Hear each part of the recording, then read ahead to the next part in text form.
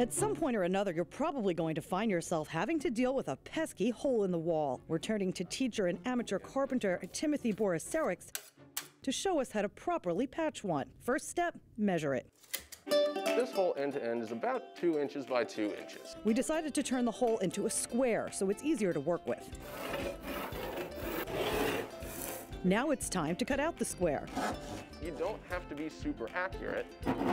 You just want to be somewhat straight. And there we are. Next step, cut the patch. Timothy says a 4 by 4 inch hole gets a 6 by 6 inch patch. How hard could that be, right? Give it a good push down. Yeah, that's a little harder than I thought. Okay. All right, I'm going to measure out the back of my new patch. This extra inch is going to give me a flap that I can use to attach to the wall with. Break the piece almost all the way off, only leaving the paper. And there we go. We're going to give this a difficulty level of one and a half. Next, commitment.